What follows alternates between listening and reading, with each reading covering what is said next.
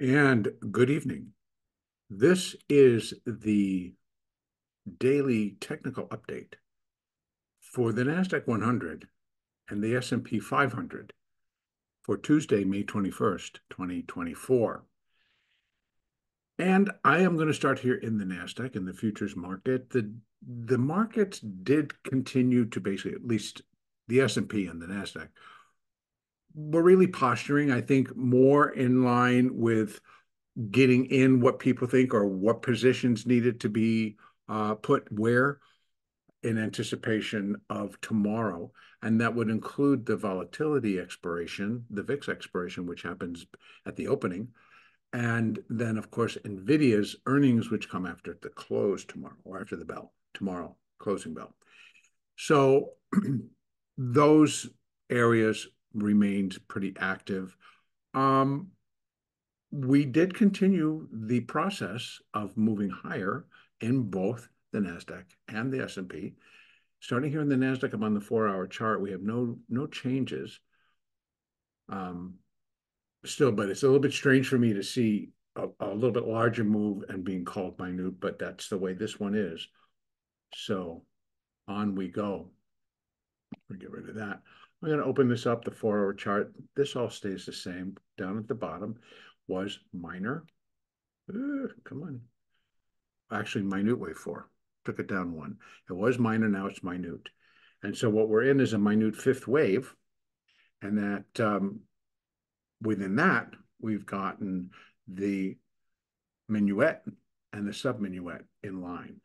And I've been looking for the completion point for minuet wave three. And so that would be one, two, and this would be three. So inside, I got to be able to count five.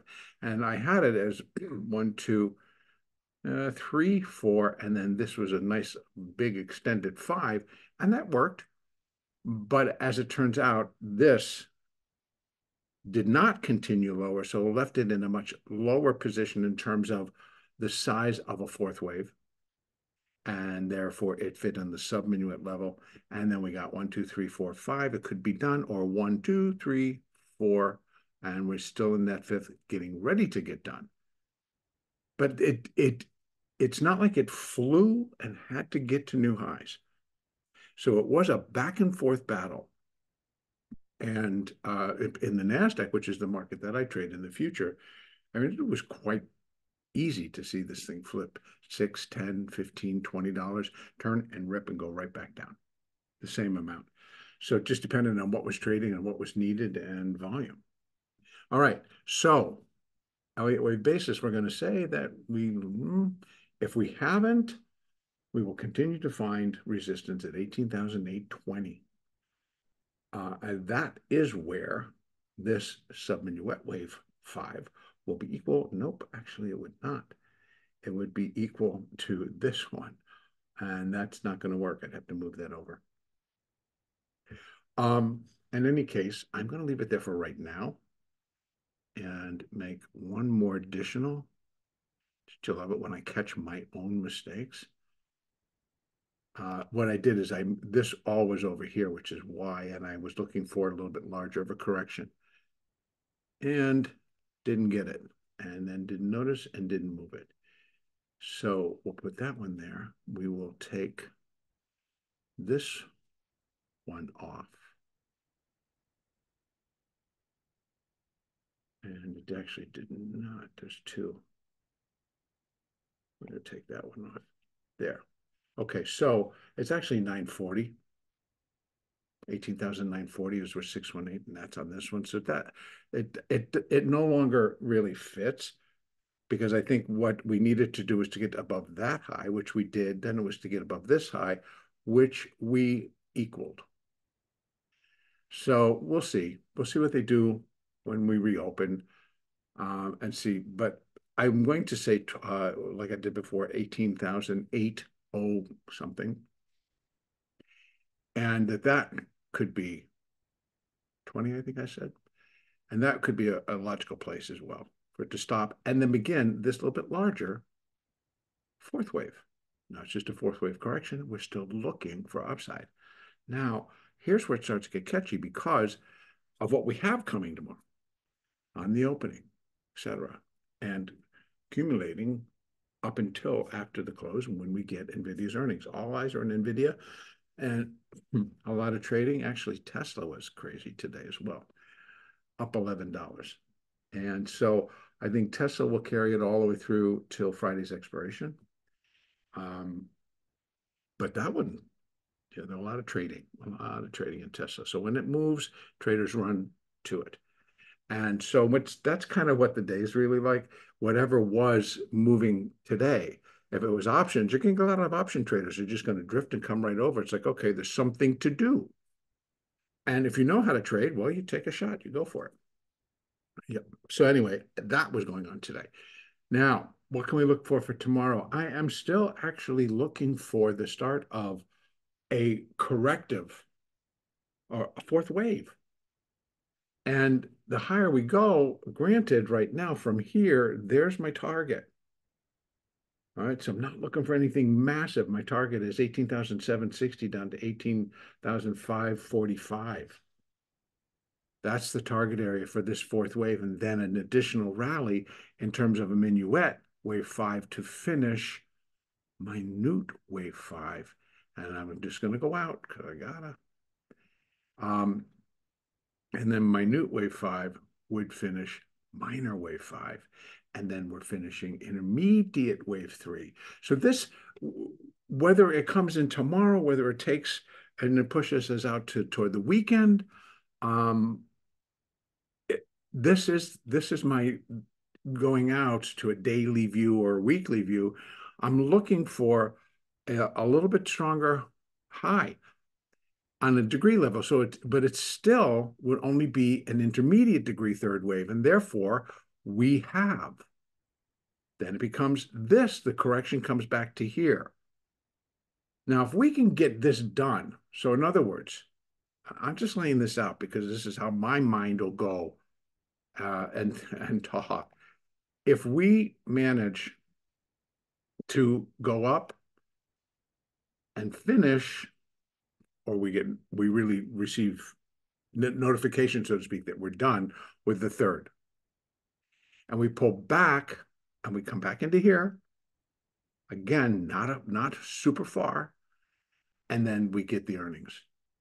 And the earnings take us for a pop that would then finish this five, this five, the minor five, and the intermediate wave three. And then we're looking for that even larger.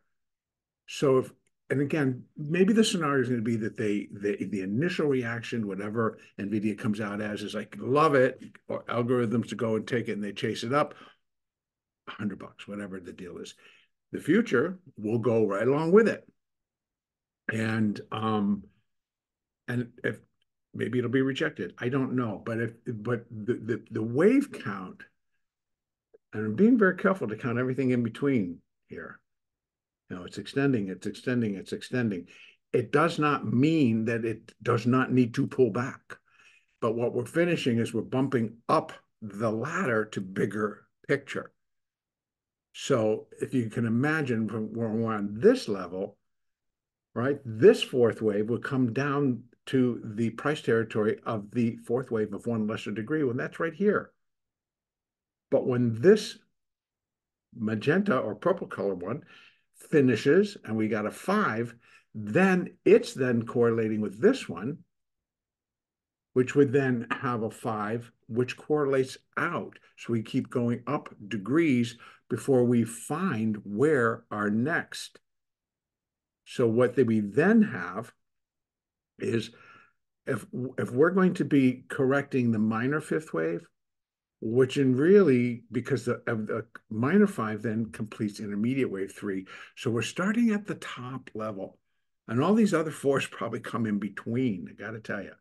So, but we have this when we're done with minute wave five, it completes intermediate wave three, and then we go out to that intermediate third wave to find where minor wave four so that's where we would go. We go out to minor wave four, and that's out here. So the window for the next correction, once this is all done, is down here. 16, 6, 16, 700 down to 14.6. Then we go up again and again to new highs. So wherever this finishes, we come down in a four and we run back up in a five. That's, in my world, that's the plan. That's what will unfold according to how I'm looking at it on an Elliott basis. And it would be up at that secondary, right? Or tertiary, however many you want to count out to uh, in terms of highs. But on a degree level, remember that that cycle wave four or cycle wave three shifted over from 2022 to wherever this finishes and whenever it finishes. So yeah, we have more upside to do. But again, in my view, we are getting into the final segments of it. So we're finishing an intermediate third, do an intermediate four, we have an intermediate five, done. Because the intermediate five then completes the the primary wave five, and that then completes the cycle, wave three. Then we begin a much bigger. Maybe that's year end. Maybe that's the beginning of next year. I do not know. All right. Now, what can we look for tomorrow? Well, basically told you that I think we just continue to posture until things are done. Now, yes, there are particular things that that can happen, uh, particularly in when volatility settles, excuse me, which will be at the opening, um, it will release a lot of positions and therefore a lot of different things kind of, you get little whooshes of activity in different areas uh, related to volatility. And then again, that could, you know, push over into stocks and push over into options and everything else. So uh, we might get that. Uh, and then the next bigger one the Fed minutes, yes, I think there'll be a few volatile moments on that one, but I don't think anything spectacular. Uh, then NVIDIA.